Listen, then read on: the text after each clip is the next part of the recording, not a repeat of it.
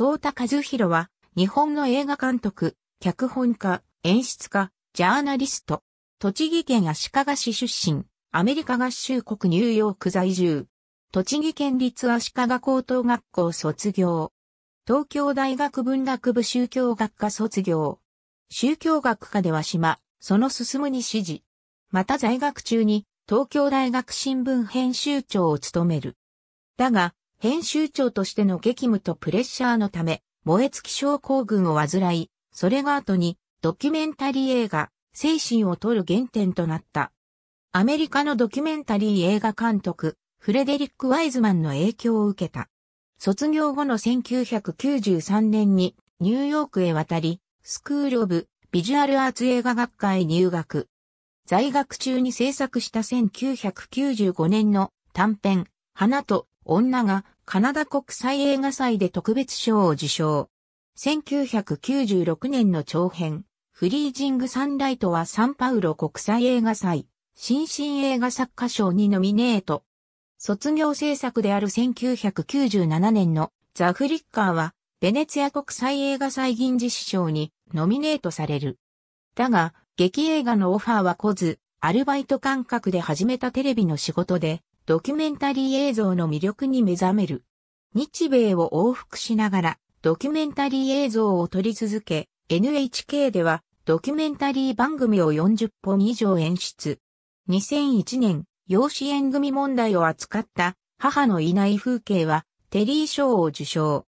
また、ジャーナリストとしての活動には映画監督の大島渚やチベット仏教の法王、ダライラマ14世へのインタビューなどがある。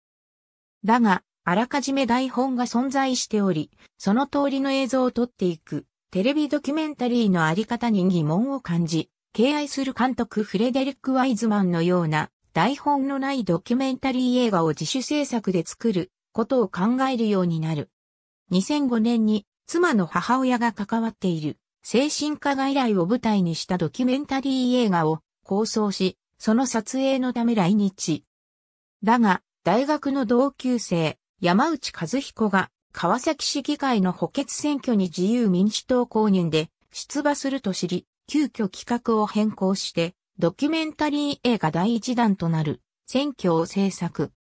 ベルリン国際映画祭、シドニー映画祭、シネマドレール映画祭、サウスバイサウスウエスト映画祭、ブエノスアイレス国際インディペンデント映画祭、香港国際映画祭、バルセロナアジア映画祭、フリブール映画祭、ホットドックス、カナダ国際ドキュメンタリー映画祭などに正式招待され、ベオグラードドキュメンタリー映画祭ではグランプリを受賞する。また、60分の短縮版が BBC、PBS、アルテ、NHK など200カ国近くでテレビ放映される。2008年には米国放送会最高の名誉とされるピーボディ賞を受賞する。続くドキュメンタリー映画第2弾の精神は2008年10月に開かれたアジア最大規模の不山国際映画祭で最優秀ドキュメンタリー賞を受賞。12月にはドバイ国際映画祭にて同じく最優秀ドキュメンタリー賞を受賞。さらにマイアミ国際映画祭で審査員特別賞、香港国際映画祭で優秀ドキュメンタリー賞、日本国際ドキュメンタリー映画祭で宗教を超えた審査員賞を受賞した。精神は2009年6月から日本国内各地で上映された。同6月には精神の制作過程の葛藤躍進、出演者たちとの対談などを記した初の著書、精神病とモザイクタブーの世界にカメラを向けるを刊行した。また、韓国の国境の町、ハシュー市で開かれる非武装地帯ドキュメンタリー映画祭から短編ドキュメンタリー映画の制作依頼を受け、精神と同じく岡山県を舞台に岐阜母や野良猫たちが登場する観察映画番外編ピースを制作。2010年9月の同映画祭でオープニング作品として世界初公開された。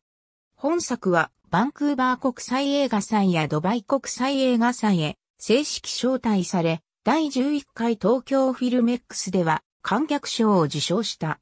香港国際映画祭では最優秀ドキュメンタリー賞をニオン国際ドキュメンタリー映画祭では VA& シャゴール賞を受賞した。劇作家で演出家の平田織里青年団を被写体にした観察映画第3弾、演劇1、同第4弾、演劇2は2部作合計5時間42分の大作。不山国際映画祭でワールドプレミアされ、日本では2012年10月20日から劇場公開された。2012年のなんと3大陸映画祭では若い審査員賞を受賞した。2013年夏、東日本大震災直後の統一地方選挙に山内和彦が再出馬した様子を描いた選挙2が日本で劇場公開された。2018年6月18日、妻と共に国に対し夫婦別姓確認訴訟を起こした。1997年にニューヨーク市で別姓のまま結婚し、日本の法律上も婚姻関係は成立したにも関わらず別姓のままでは戸籍が作れないことに関するもの。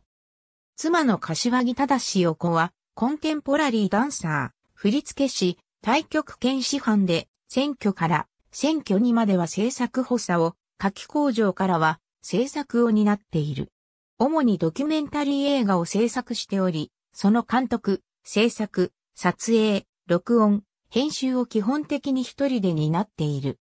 一人で撮る理由は、経済的理由もあるが、それ以外にも映画作りに存分に時間をかけたいという送電の考えがあるからでもある。送電は自身の撮るドキュメンタリー映画を観察映画と称して撮影している。それは、なるべく余談と先入観を排除して対象をよく観察し、その観察で発見したことを映画にするという方法論であると語っている。単著強著。ありがとうございます。